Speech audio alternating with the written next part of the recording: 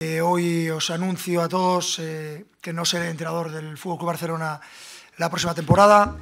Una noticia convulsionó esta semana al fútbol español. Luis Enrique anunció que desde la próxima temporada ya no será el entrenador del Barcelona.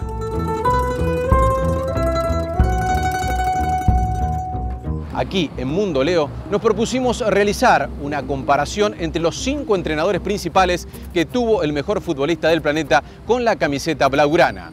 El entrenador que brindó a Leo Messi mayor efectividad en cuanto a porcentaje de puntos ganados con la camiseta blaugrana fue Luis Enrique, con el 76,8% de los puntos para obtener dos ligas españolas, dos Copas del Rey, una Champions League y un Mundial de Clubes.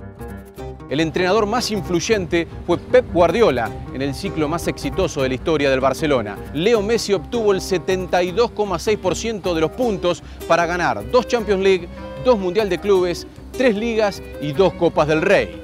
Por debajo de ellos está un técnico muy recordado por Leo Messi, aquel que lo dirigió en la Masía, que fue el asistente de Pep y en el primer equipo obtuvo el 68% de los puntos. Hablamos de Tito Vilanova, con el cual Leo Messi y su equipo ganó una liga española. El cuarto en esa lista es Fran Rijkaard, el técnico que le permitió debutar al argentino allí por 2004. Con el entrenador holandés jugaba menos y se trataba de afianzar en el primer equipo, pero logró el 63% de los puntos con dos ligas españolas y una Champions League. El quinto y último en cuanto a porcentaje fue su coterráneo, Gerardo Tata Martino, quien ganó el 53% de los puntos al mando del equipo de Leo Messi en territorio catalán.